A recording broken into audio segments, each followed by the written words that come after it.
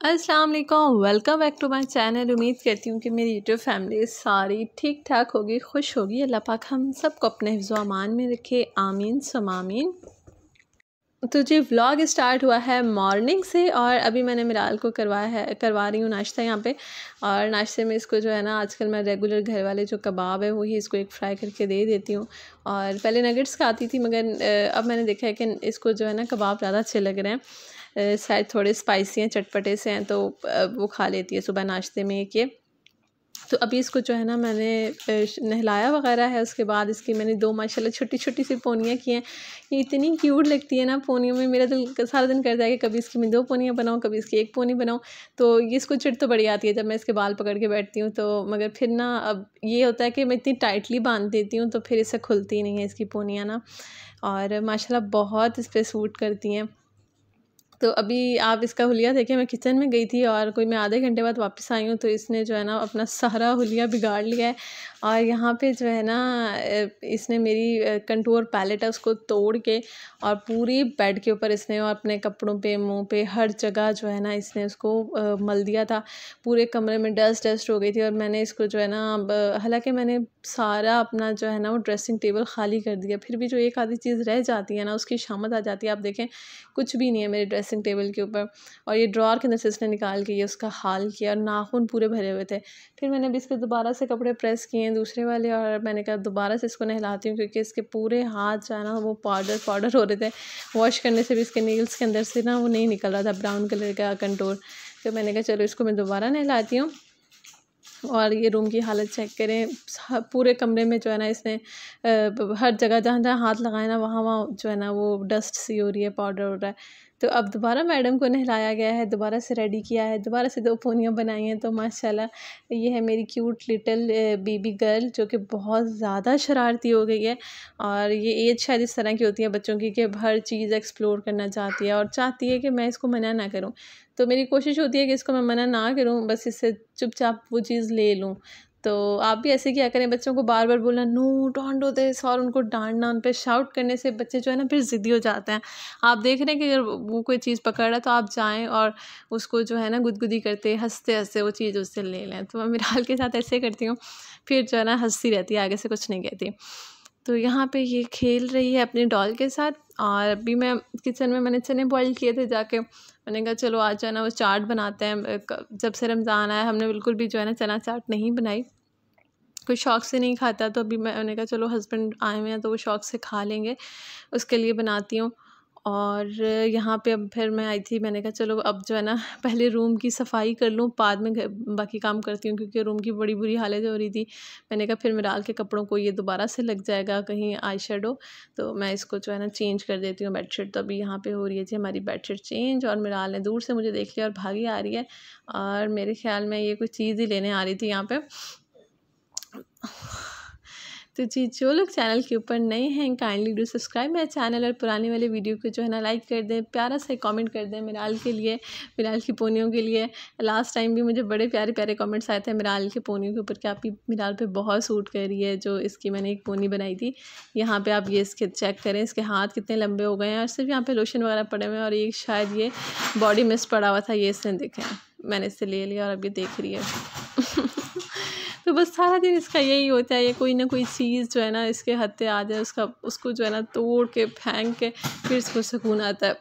और अभी मैं वॉइस ओवर कर रही हूँ और अभी भी जो है ना ये तलाशियाँ लिए जा रही है ड्रॉर्स की, हालाँकि ड्रॉर्स आलमोस्ट खाली हैं अच्छा दूसरे ये काम ये सोफे पे चढ़ती है और इस वाली जगह पे जहाँ पे ये सॉकेट है टीवी वाला इसको ऑन ऑफ़ करती रहती है। तो यहाँ पे बड़ा डर लगता है। दूसरा कि भाई ये सोफ़े से गिर ना जाए और फिर सॉकेट है लाइट है और दूसरा ये कि शूज़ पहन के चढ़ती है और मेरे डार्क ब्राउन सोफ़े हैं और उनके ऊपर जित फ़ौरन से इसके जो है ना शूज़ के वहीं पे जो है ना, वो निशान पड़ जाते हैं। तो अभी मैंने कहा, चलो, मैं डस्टिंग करी थी तो सारे मैं सोफ़े वगैरह भी साफ़ करती हूँ। तो यहाँ पे मैंने सारे सोफ़े भी साफ़ किए हैं। पूरे कमरे की डस्टिंग की है और बेडशीट भी चेंज की है।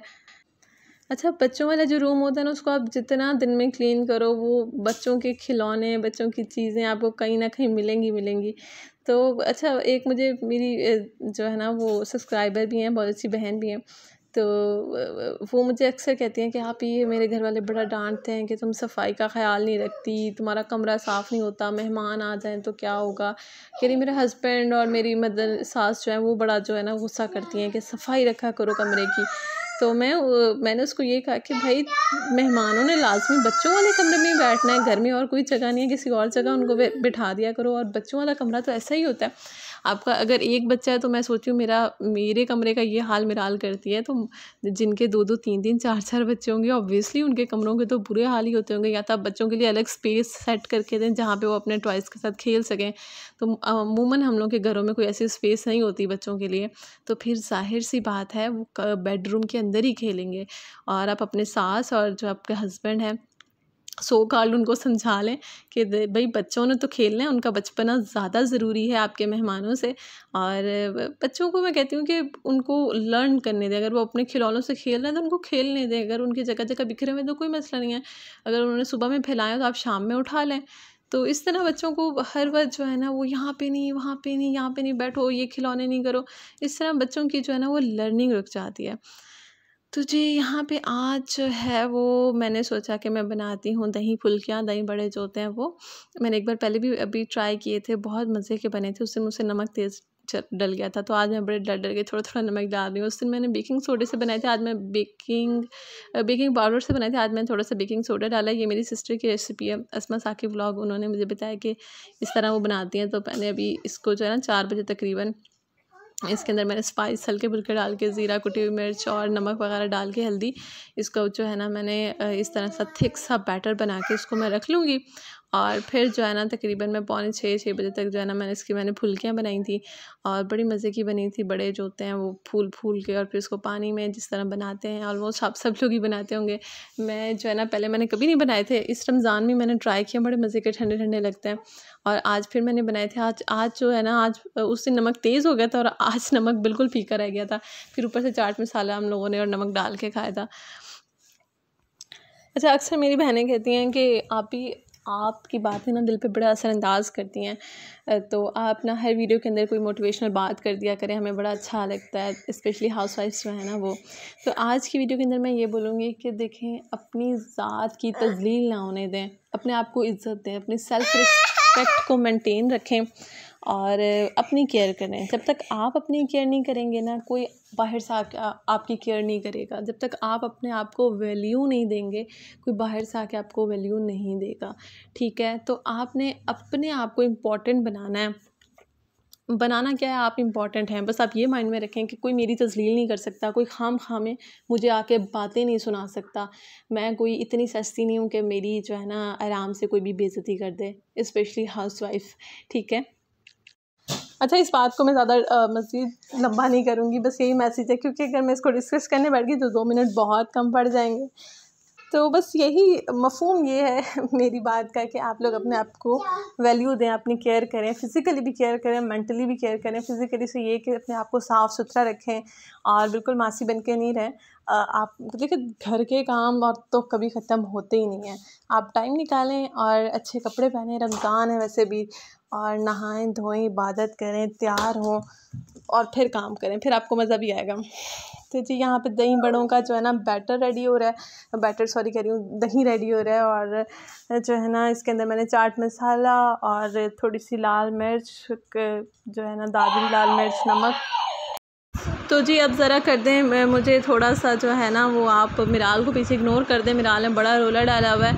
और मुझे बिल्कुल वॉइस ओवर करने नहीं दे रही और इसी वजह से ब्लॉग्स भी मेरे लेट हो जाते हैं। तो यहाँ पे जी बन रहे हैं हम लोगों के दही बड़े।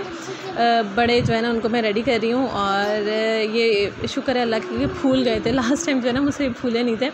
और अच्छा आप लोग बताएगा कि मूंग की दाल के ज़्यादा मज़े के होते हैं या बेसन वाले? तो मुझे तो बेसन के भी बड़े अच्छे लगे थे। वैसे कहते हैं कि मूंग की दाल के जो बनते हैं ना, वो ज़्यादा जो है ना, वो मज़े के होते हैं। तो जी, आज का ब्लॉग इतना सही था। और ज़्यादा से ज़्यादा ये कहूँगी कि चैनल को जो है ना लाजमी सब्सक्राइब कर दें, जिन लोगों ने अभी तक नहीं किया, और वीडियो को लाइक कर दें। और ये जी हमारे दही बड़े रेडी हैं। और यमी यमी से तो चीज़ चलते हैं। दुआ में याद रखिएगा। तब तक के लिए अल्लाह हाफ़